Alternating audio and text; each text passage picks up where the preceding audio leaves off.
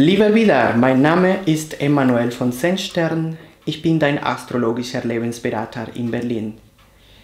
Das ist die allgemeine Monatsprognose für Januar 2021.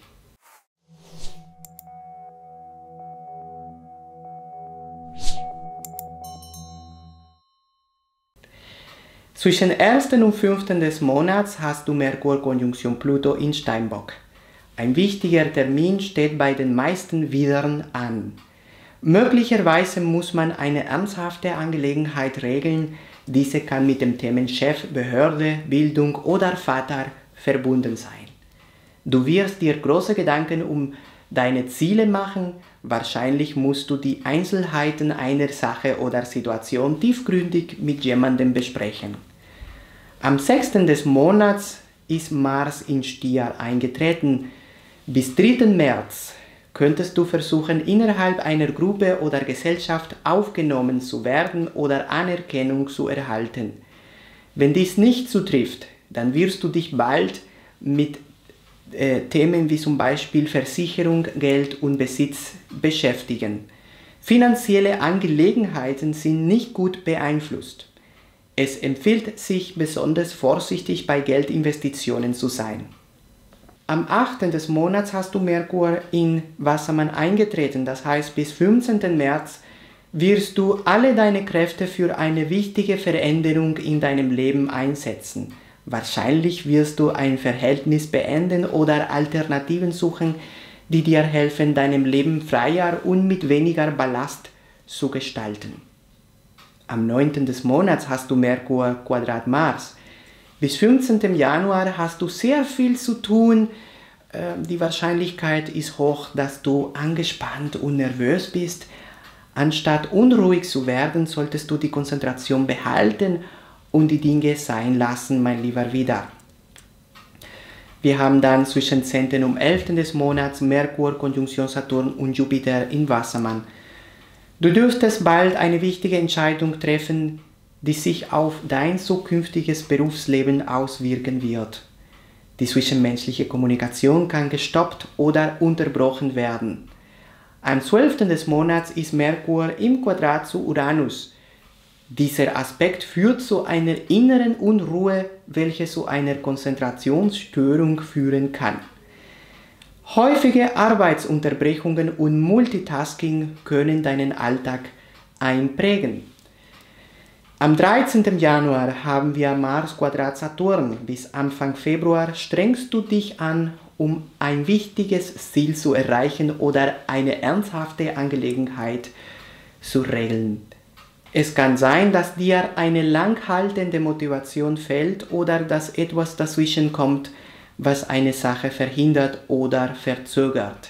Am 13. haben wir einen Neumond in Steinbock. Vielleicht musst du eine Angelegenheit mit einem Chef, Vorgesetzter oder Behörde klären. Bis Mitte Februar dürftest du dich neu organisieren, um deine eigenen Bedürfnisse gerecht zu werden und um auf das, was von außen auf dich zukommt, entsprechend zu reagieren.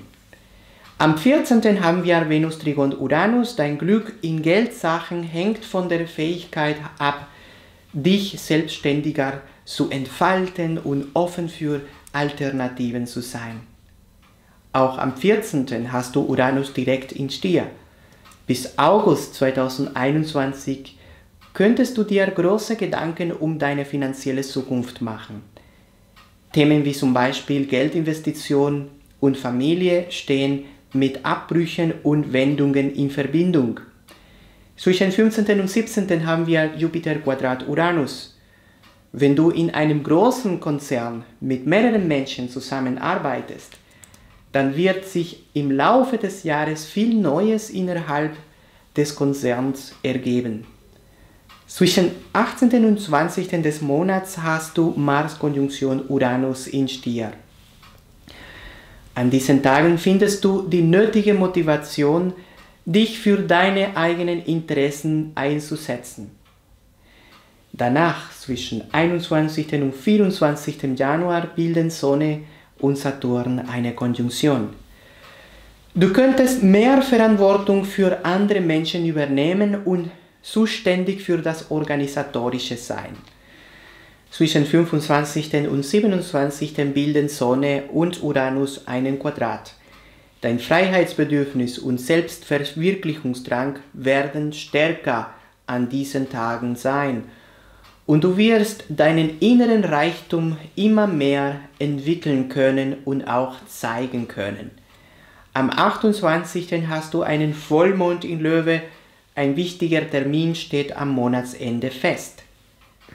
Am 29. hast du Sonne Konjunktion Jupiter in Wassermann. Wahrscheinlich sollte man mit einer Routine abbrechen und sich den Freiraum nehmen, den man braucht. Falls zutreffend, mein lieber Widar, werden Bildungsangelegenheiten erfolgreich gemeistert. Und dann am 30. des Monats ist Merkur rückläufig in Wassermann. Bis Anfang März könnte sich ein alter Bekannter bei dir wieder melden. Mein lieber Widar, mit diesen allgemeinen Aussagen bin ich fertig mit Januar 2021. Falls du eine individuelle Prognose für die kommende Zeit brauchst, kannst du gerne jederzeit eine Beratung bei mir buchen. An dieser Stelle wünsche ich dir einen erfolgreichen Start in das neue Jahr. Ich wünsche dir viel Gesundheit, alles Gute und bis zum nächsten Video.